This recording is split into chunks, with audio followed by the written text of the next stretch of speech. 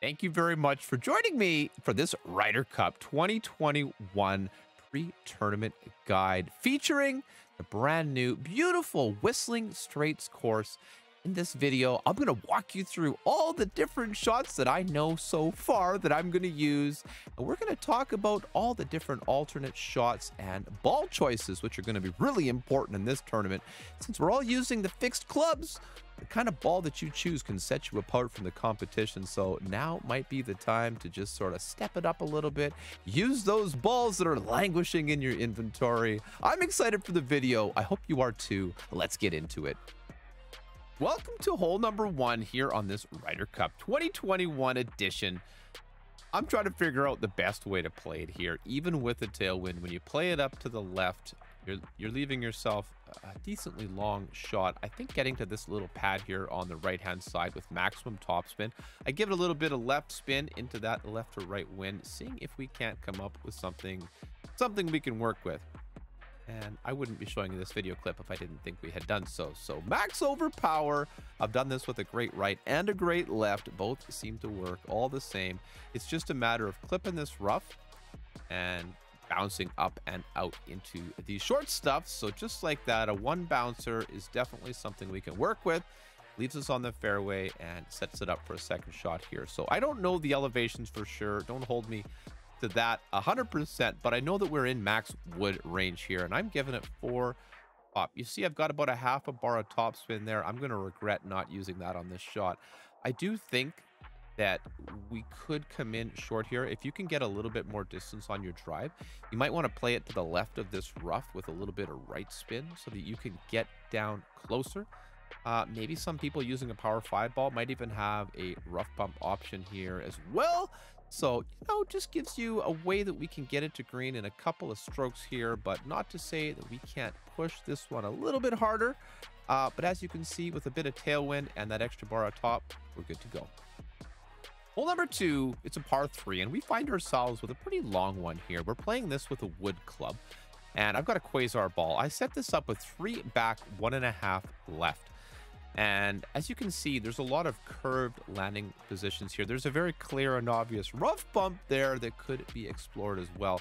However, I found this little spot right between the rough and the bunker be quite consistent. Now, I would actually in this wind, think about playing this maybe with just one left. Get rid of that half bar um, as well because this wind is pushing us right to left.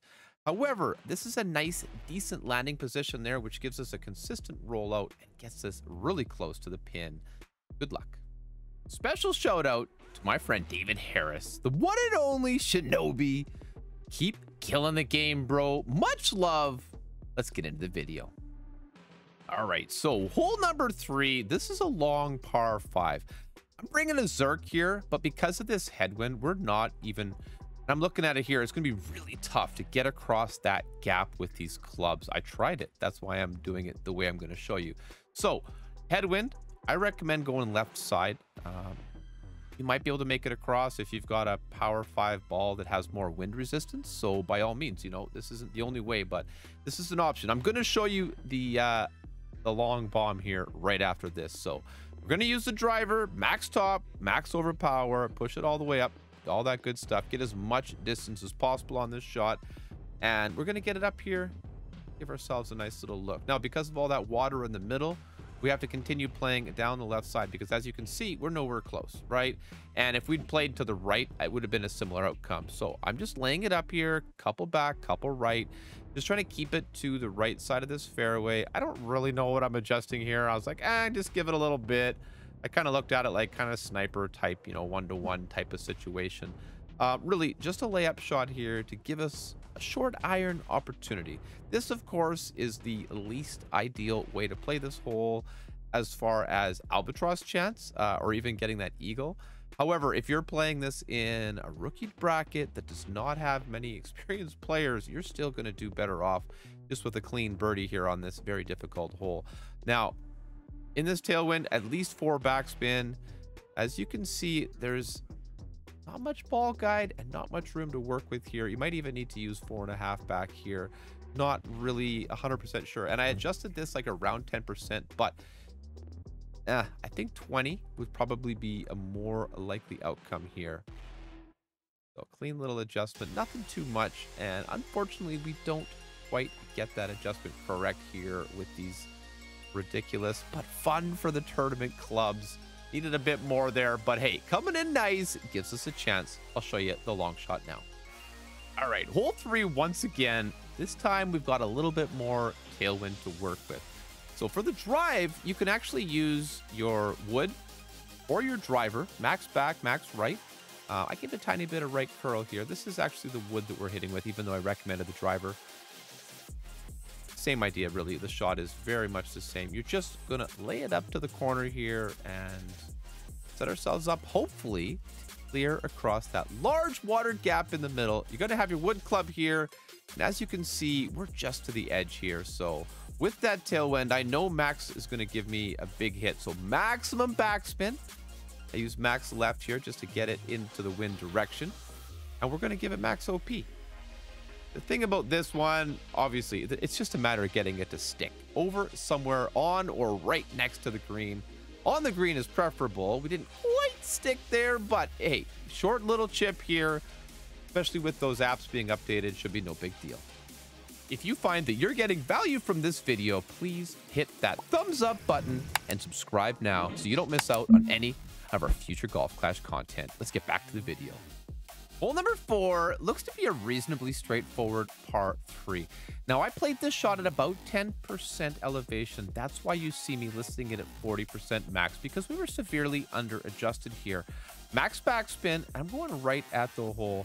I would love to have a backspin boost ball and give this like another bar of backspin or so. I think it would be better to bounce on the fringe or even on the green. So keep that in mind, you know. Um, otherwise, you know, pretty direct approach here. Nothing crazy. Just going to be a matter of dialing it in with those limited time tournament wins. You see there, we needed a little bit more, but I think we definitely got this one with the backspin approach. Hole number five, the second par five, is setting up more and more like a real golf tournament. Getting eagle just on this par five alone will be quite challenging, especially if you have a little bit of wind like this. And I intentionally chose to show this path, this is basically as as rough as it's going to get. We're bouncing it with max topspin. I'm using a power three ball here, and we're going to take that driver up and onto that second patch of fairway. Now, as you can see, perhaps with a nice tailwind, power five ball especially, you're going to get this thing to travel up to that third fairway. If you can do that, you're going to give yourself a much nicer shot into the green and potentially get it to the green in two. However, this path here is going to need to be taken by many people, and I predict the Playdemic will not be nice to us uh, and give us nice tailwind on every single shot. So be prepared, be aware, kind of get lets you see where we're going to be. Once again, max top, max left. We are just trying to get it over there because of the headwind fighting us here every step of the way. I decide to just not even, don't even flirt with that rough. Just play it safely to the side here and I gave it, you know, I took about 25% uh, off of the overpower. I gave about three quarters there. I wouldn't want to go too, too much more here because as you could see, we definitely could roll up into that rough. Uh, but this is going to set us up for a fair effort. Now, I played this shot. Uh, I forget the exact adjustment, but honestly, it was about about one to one, I believe. Let's take a look here. A couple bars of backspin. Probably could have used only one with this strong headwind, but I think two bars is a reasonable place to work when you don't really know the ball guide. Set it up, you know, a little bit short. Uh, trying to account for that missing ball guide. So 4.2 win. What do we pull here? Oh, I uh, went by like just about half, right? So I just a little bit, just about two. Probably need to use just a bit more into this strong wind. However, luckily, it looks like our beloved adjustment apps are all getting updated just about got that eagle. Good luck. R4, sixth hole. It's time to get back to doing what we do best. That's rough, bumping Titan ball on the drive. Giving it, you know, two to four topspin here, depending on the wind. If you've got a strong tailwind here, just take it easy. You don't want to go through it. I am giving it just a bit of overpower there to compensate for that uh, headwind.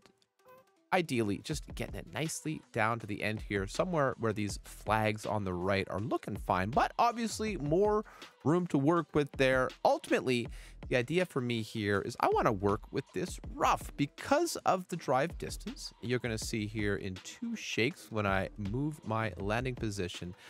I'm really close to maximum distance if I remember. Come on, Baldy. There we go, baby. Uh, I don't know. But anyway, maybe not. Maybe we're mid, but I really just thought, you know what, this looks like, feels like rough bump territory. So I gave it four and a half top spin here. And I adjusted shot around 10% max. And as you can see, it's a little bit of a hill that I'm hitting on. I probably should play this with the left spin and a little bit more to the right where it's flatter. Uh, looking at it here now with you as we are reviewing the shot. But bounce, roll, Oh, so close, baby. I think I'm going to keep working with this one on this hole. We'll see you on hole number seven. Hole number seven is our final par three. I'm setting this one up. We're looking at this rough bump. It's obvious. It's screaming to me, but the wind is not having it. So uh, what we could do there, we could change to a higher power ball so we're not in between clubs, or we could just work with a little more reasonable shot, a little bit of side spin here, and bounce it in with the long iron. I played that basically just because of the way this set up, and I'm not about using a bunch of fancy balls, especially in practice when we're still learning the course. Uh, your balls, your skill level, you do what you got to do, boo. So Easy does it here, adjusting approximately 20% elevation on this shot. However, that's going to change depending on the wind. Don't forget it. Easy does it, though. This is a very viable and replicable path. Good luck. Hole number eight, R4, and the pain keeps on paining.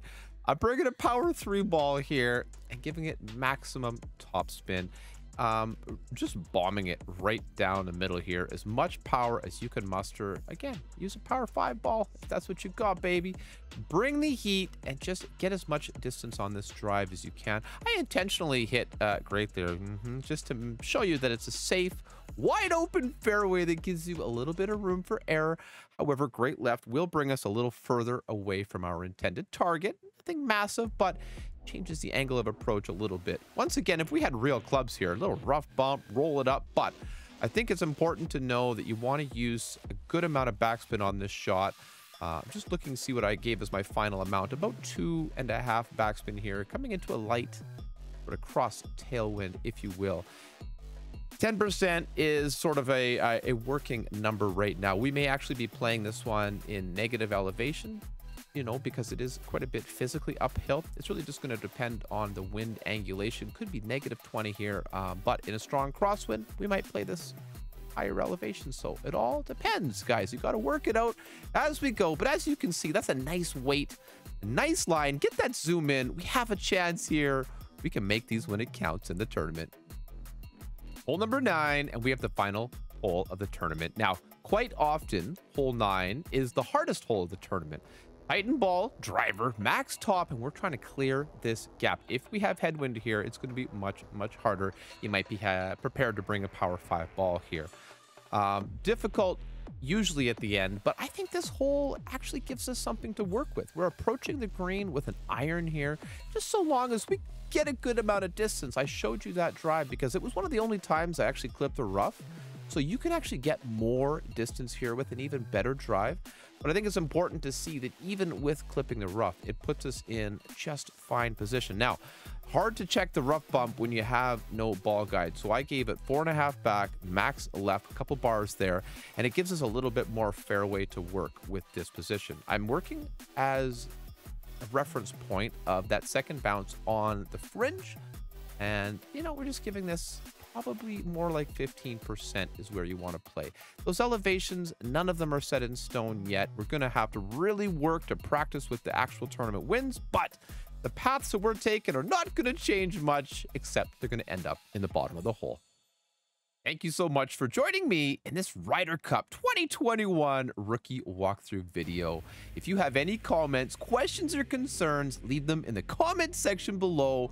Don't forget to subscribe now so you don't miss out on any of my future Golf Clash content. Good luck in the tournament, and thank you for watching.